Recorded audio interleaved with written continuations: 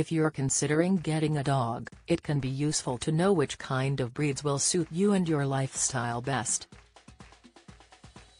But according to one vet on social media, there are five breeds he would never choose to own for a number of different reasons.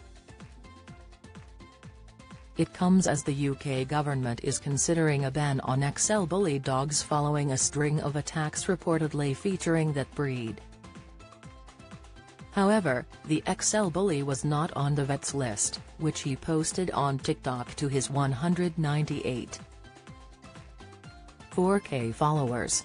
Ben the vet said that he would avoid certain breeds as they can have a number of complicated health issues, and one can even become very aggressive, the Mirror reports. The first dog breed on Ben's list was the West Highland White Terrier, or Westie which many people will know them as, he explained in the video, ask any vet what dog breeds are most commonly affected by skin allergies and I guarantee the Westie will be near the top of their list. You may have noticed that they often have brown feet, that is not their natural coat color, that is from saliva staining because their feet are itchy and they spend a lot of time licking them. Ben continued, they also have two health conditions named after them, which is never a good sign. The first is Westie lung or pulmonary fibrosis which is a condition where their lungs become scarred and they develop a cough and breathing difficulties. The second is Westie's jaw which commonly affects young Westies. They get all of this abnormal bone growth around their jaw and it's very painful, it's a no from me. Next up was Neapolitan Mastiff, with Ben unable to fathom how anyone could own this kind of dog. He said, I don't understand how anyone could live with this amount of drool. If you've got carpet on your floor surely your carpet must stink of drool. If you have hard floors then you must have to mop the floors multiple times a day and they shake their head and the drool goes everywhere, I just couldn't live with that, sorry. The drooling aside, the amount of redundant loose skin they have on their head can be really problematic. Their eyelids tend to be very loose meaning some parts of the eyelid rolls outwards, leaving the eye exposed and other parts roll inwards meaning hair scrapes on the surface of the eye which is obviously painful.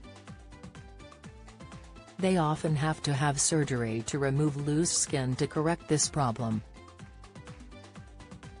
The next dog on the list was the Italian Greyhound, and although these are very fashionable dogs, they can be easily injured.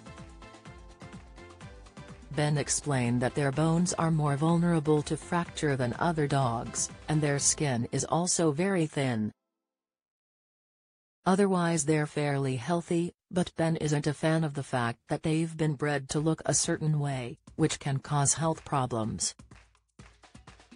German Shepherds were fourth on the list, with Ben warning that their temperament could be a cause for concern. He explained, so when they're in an unfamiliar surrounding, like a veterinary practice, and they're feeling anxious, they can become very aggressive and reactive but also because of their poor genetic health they're predisposed to a lot of health problems including hip dysplasia and elbow dysplasia. Finally, Ben rounded his list off with the Bernese Mountain Dog, due to the breed being highly at risk of cancer. He added, there's a type of cancer which is very rare in most dog breeds but kills 1 in 7 Bernese mountain dogs and it's called histiocytic sarcoma.